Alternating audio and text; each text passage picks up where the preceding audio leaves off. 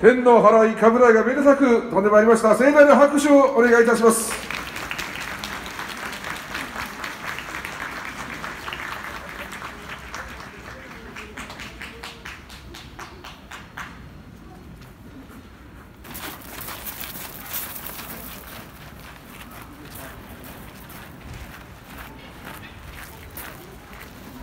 この後の山崎真嗣にも松井様、鈴木様ご奉仕をいただきますのでよろしくお願い申し上げます。ありがとうございました。ありがとうございました。